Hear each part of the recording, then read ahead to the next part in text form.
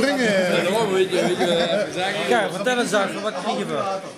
Uh, we kregen een asperge, gekookt in uh, gulp zeebier, met een uh, saus Hollandaise van Korenwolf. Zit er goed uit. Dank je. Ja, dat is wel koud hè? Ja. Wat is het?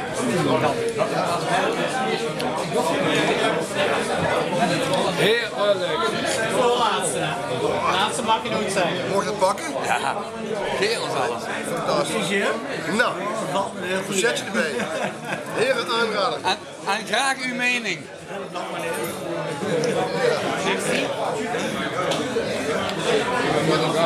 Eentje op de boorden.